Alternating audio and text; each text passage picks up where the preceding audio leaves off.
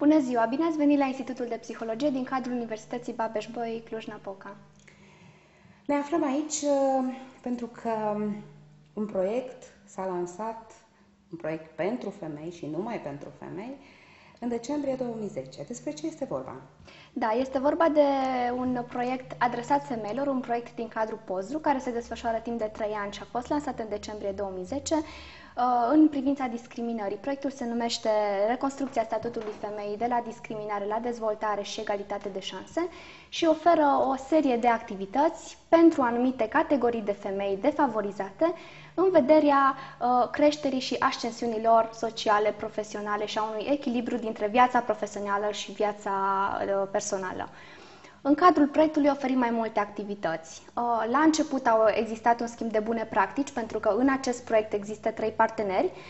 Beneficiarii acestui proiect sunt Facultatea Alexandru Ioan Cuza din Iași, în parteneriat cu Universitatea Babeș-Bolyai, Facultatea de Psihologie, a cărei coordonatoare este doamna profesor Adriana Băban, și Facultatea de Vest din Timișoara. La început a existat un schimb de bune practici, s-au făcut multe studii de cercetare, după care, în momentul de față, se desfășoară în paralel două mari activități. Pe de o parte este vorba de oferirea a patru cursuri oferite anumitor femei din regiunea de nord-vest și aici mă refer la cele șase județe arondate regiunii de nord-vest din România.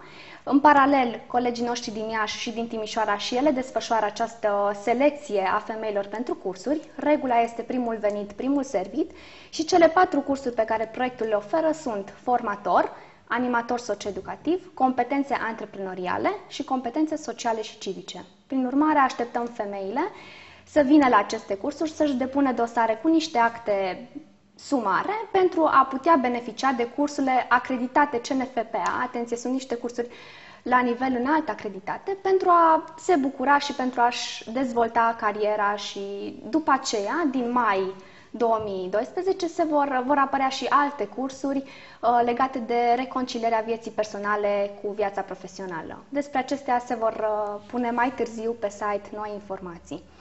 Pe de altă parte, al doilea palier este vorba de bursele sociale pe care noi le oferim prin acest proiect.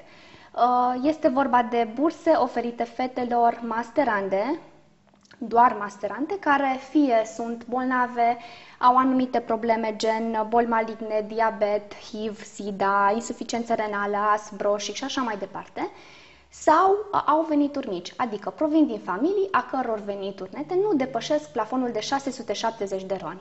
În acest sens, bursele pe care le oferim uh, se adresează tot fetelor pentru Cluj. Mă refer că noi facem selecția pentru regiunea de nord-vest a țării, celor șase județe. În paralel, Iașul și Timișoara oferă pentru regiunea de est și de vest a țării. Uh, dosarele trebuie să conțină o serie de acte care sunt specificate în acel document de, privind uh, documentele, normele sociale de acordare a burselor și fetele masterante care sunt la facultăți, atenție, acreditate Uh, să ofere programe masterale, vin și își depun dosarele. Anul acesta oferim 250 de burse, iar anul viitor vom uh, oferi 450 de burse. În total, pentru Cluj sunt alocate 650 de burse sociale și în total, la nivel uh, național, se oferă 2500 de burse pentru cei 2 ani de masterat. Prin urmare, așteptăm fetele să vină să ne ofere, să ne predea dosarele și noi să le putem oferi burse. Cuantumul este de 3000 de roni, ceea ce înseamnă o sumă de 333 de roni pe lună, pentru că sunt 9 luni academice.